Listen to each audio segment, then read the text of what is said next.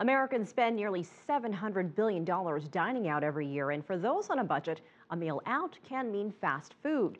But a new report shows even price conscious diners caring more about taste and sales. Karina Huber reports. When it comes to fast food, big isn't better. The world's largest fast food brands just got failing marks from U.S. consumers. More than 30,000 subscribers of Consumer Reports ranked McDonald's hamburger as the worst. Taco Bell got worst burrito. And KFC, worst chicken.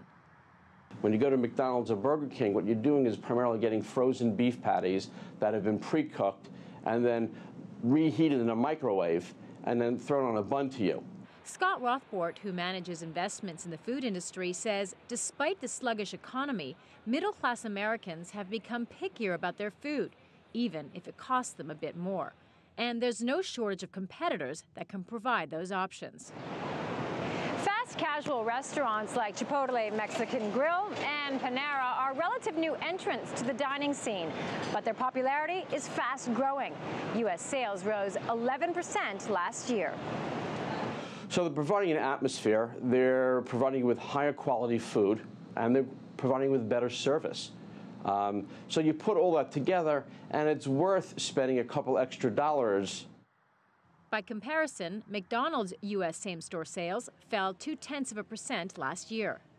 Well, McDonald's is still the largest seller of hamburgers, and I think that's going to stay for a long time.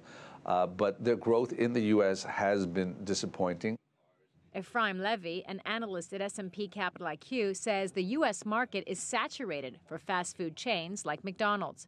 That's why it and Yum Brands, the parent company of Taco Bell and KFC, are eyeing Asia for growth. Earlier this year, McDonald's said it would add 300 locations in China in 2014. More than half of Yum's sales come from China. Uh, these companies are doing really well uh, internationally. China's been a growth market. The sheer size means they're going to grow for a long, long time. They can only hope that their food continues to look appetizing to Asian diners for a long time, or else they'll have to take a bite out of another untapped market. Karina Huber, CCTV, New York.